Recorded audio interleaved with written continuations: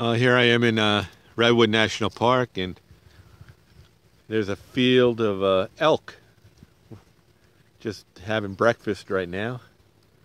Beautiful morning in the 50s, and the elk are just grazing on the, uh, the grass.